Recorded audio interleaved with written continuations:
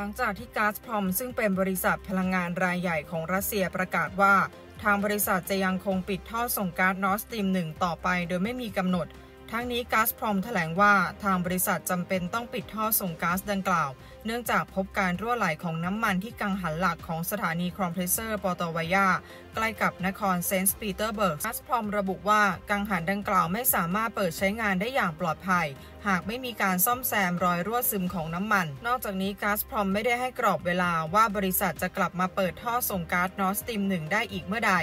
โดยท่อส่งดังกล่าวจัดส่งก๊าซจากรัสเซียไปยังเยอรมนี ซึ่งก่อนหน้านี้ก๊าซพรอมมีกำหนดเปิดท่อส่งก๊าซนอร์สตรีม1 ในวันที่ 3 กันยายนเวลา 8 นาฬิกาตามเวลาไทย หลังเสร็จสิ้นการซ่อมบำรุงในวันที่ 31 สิงหาคมถึง 2 กันยายนการประกาศปิดท่อส่งก๊าซนอร์สตรีม1 โดยไม่มีกำหนดนี้ เป็นไปตามที่หลายฝ่ายกังวลก่อนหน้านี้ว่าก๊าซพรอมจะยังคงปิดท่อส่งก๊าซต่อไป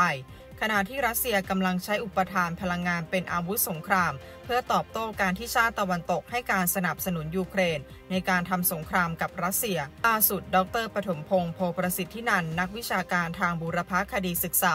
มหาวิทยาลัยมหิดลโพสต์ระบุถึงกลุ่มประเทศ EU มีทางเลือก 3 ทางสำหรับหน้าหนาวที่จะมาถึงในไตรมาสที่ 4 นี้ 1. หากซื้อก๊าซในราคาที่แพงกว่าก๊าซของรัสเซียมาจากประเทศนอร์เวย์และจีนสองประเทศนี้ยินดีขายให้ แต่ไม่มีทางจะลดราคาเด็ดขาด หากไม่ก็จะหาซื้อจากประเทศอื่น ๆ นอกจาก2ประเทศนี้ให้ได้ 2. คลานกลับไปหาวลาดิเมียร์ปูติน ยอมหักดิบกับอเมริกาซึ่งเป็นเจ้านาย 3. ไม่ยอมง้อปูติน แต่จะกลับไปสู่ยุคหิน ใช้ไม้ใช้ถ่านก่อไฟผิง และหุงต้มตามภาพประกอบ แต่อุตสาหกรรมทั้งปวงจะตายสนิท เมื่ออุตสาหกรรมตาย EU จะกลายเป็นประเทศโลกที่ 3 ทันที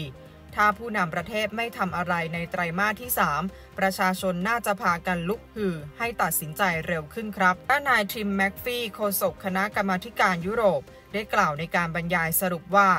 ราคาก๊าซในสหภาพยุโรปจะยังคงพุ่งสูงอยู่ไปจนตลอดช่วงฤดูหนาว และหน้าหนาวปีอื่นๆด้วย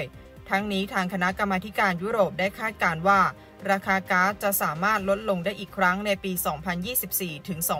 2025แต่ก็อาจมีความผันผวนเกิดขึ้นได้เช่นกัน ขณะนี้ทางคณะกรรมาการยุโรปกำลังทำทุกอย่างที่ทำได้ เพื่อจัดการความต้องการใช้ก๊าซและลดผลกระทบของค่าใช้จ่ายพลังงานทั้งในครัวเรือนและภาคธุรกิจ โดยสถานการณ์ปัจจุบันนับว่ามีความพิเศษมาก ด้วยความที่อุปทานไม่ตรงกับอุปสงค์ ทำให้เป็นเหตุผลที่ว่า ทางการจะต้องมุ่งเน้นไปที่การจัดการอุปสงค์ให้มากขึ้น ทั้งนี้ทางคณะกรรมาการยุโรปกำลังมองหาทางเลือกในการจำกัดราคาพลังงาน และลดความต้องการใช้ไฟฟ้า ซึ่งเป็นส่วนหนึ่งของข้อเสนอที่จะเกิดขึ้น เพื่อจัดการกับต้นทุนพลังงานที่พุ่งสูงขึ้น รวมถึงทางกลุ่มยังต้องลดการใช้พลังงานฟอสซิล และเพิ่มการลงทุนด้านพลังงานหมุนเวียนด้วย เพื่อให้เป็นไปตามแผนสำคัญ Repower EU ที่ได้วางกันไว้